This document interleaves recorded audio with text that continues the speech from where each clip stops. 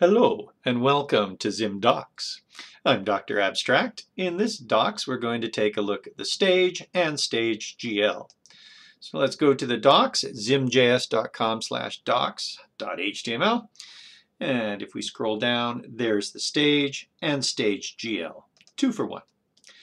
Now, we don't actually do anything with the stage, usually, because the stage is made for us by ZimFrame. So in ZimFrame, you can choose a normal stage, or you can pass in the GPU parameter here. Uh, let's just open that up. The GPU parameter right here to get a stage GL. So ZimFrame creates a stage for us, or indeed creates the stage GL for us. Uh, let's take a, a look and see how that is done. We'll pop on down to some code here. Zim stage, stage GL, we're bringing in the create.js and Zim 10. We pop on down here, new frame, and that will make a stage for us. Indeed, that stage can be accessed via frame.stage. And from that point on, we assign it to a local variable called stage, and stage is where we put everything. So that's the main container, is the stage. The uh, stage needs to be updated so that you can see any changes. So there we have in the template a stage.update and we can do something like a new rectangle. Whoa, where'd we go? New rectangle dot center on the stage dot drag, for instance. And then there's the stage.update. We view this in a browser, open in browser and there is the rectangle on the stage. So uh, the Zim stage in, in the docs here is provided primarily so that we, we've added a, a few methods to the stage that the CreateJS stage doesn't have, such as being able to loop through all of the children on it. But usually you don't have to worry about the stage at all, just know that uh, you're given it via the frame. Now stage GL is a slightly different matter. Let's uh, try setting that. So what we're going to do is go into the ZimDuo technique here of the squiggly brackets. Normally you would say colon scaling here and or, or you could hard code the word here now, fit, etc. Uh, but we'll make use of the ES6 just so it's a little bit faster. ES6, if what you were going to put there in the colon, colon scaling, for instance, is the same as the name of the property, then you can leave it out. And indeed, we've called each of our variables, it turns out, the same name as the properties. so we're kind of lucky there. We can go comma GPU uh, colon true. So by default, the GPU is false, but now we're adding uh, a property to the frame here, the GPU true. When we do that, we have to be careful because we'll no longer see our rectangle. It's gone.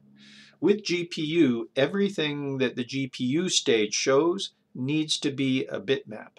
So it needs to be either a bitmap image or come from a sprite sheet or it could be cached. So uh, the technique we tend to use would be to dot cache that like so and that will cache the rectangle, uh, which is a shape, um, uh, a shape, a vector shape.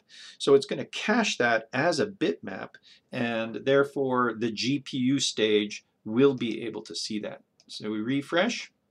So first we save, we save, and we refresh, and now the rectangle is back again as a GPU stage. So you've got to watch that. If you were to add, say, a label, the same deal, you would have to cache the label. If you go and make a new emitter, this is a particle emitter, and you um, try putting that on the stage, dot center reg on the stage.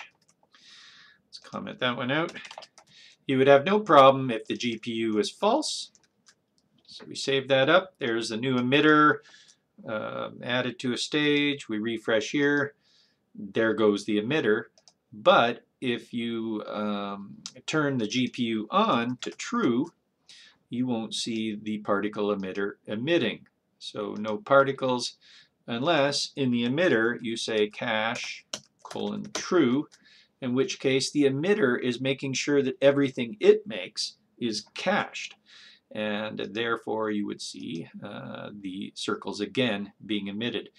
And this is handy because the GPU is faster, um, so we can emit, oh, I don't know, num colon 10 of these things.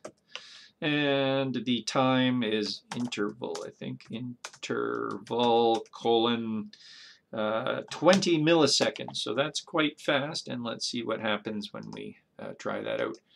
And, and you're getting instantaneous GPU-based performance uh, from that. Will you notice? It's hard to say. Let's go to false there. We won't bother caching here. False and refresh this. There are those ones. We refresh.